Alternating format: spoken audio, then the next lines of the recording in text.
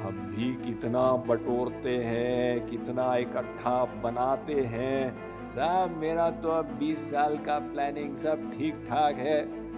परिवार भी ठीक और गाड़ी, बंगला इत्यादि। लेकिन जब जाते हैं संसार में, सब छोड़ के चले जाते हैं। एक दिन तो संसार को छोड़ना ही होगा। अभी आसक्ति को छोड़ दो। और मन को हरी में लगा दो, क्योंकि साथ कुछ नहीं जाएगा।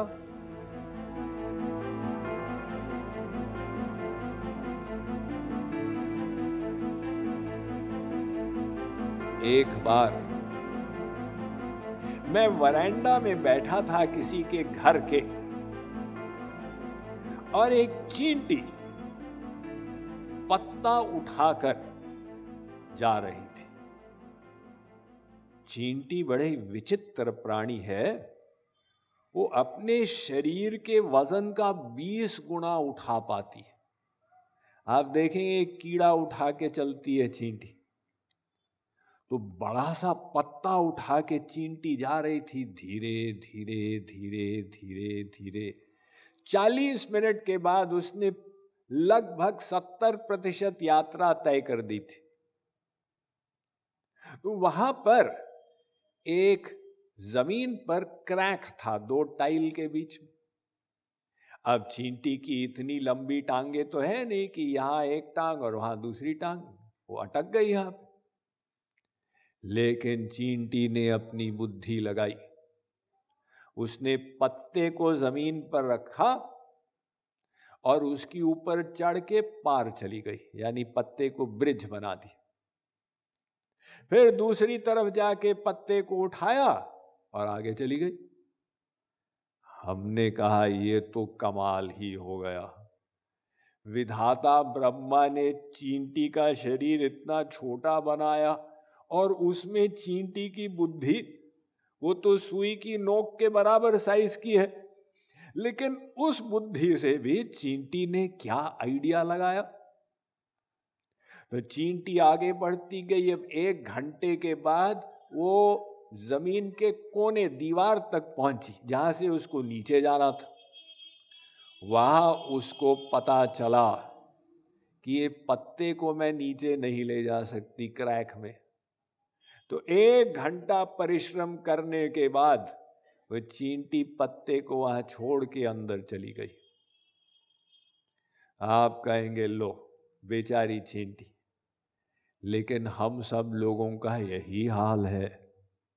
वो पत्ते के जैसे हम भी कितना बटोरते हैं, कितना इकट्ठा बनाते हैं। साहब मेरा तो अब 20 साल का प्लानिंग सब ठीक ठाक है। परिवार भी ठीक और गाड़ी, बंगला इत्यादि।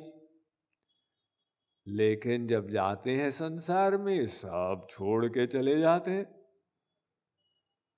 इसलिए जगत गुरु श्री कृपालु जी महाराज ने कहा कि जग छोड़ना ही होगा, गोविंद राधे। पहले ही छोड़ी मन हरी में लगा दे।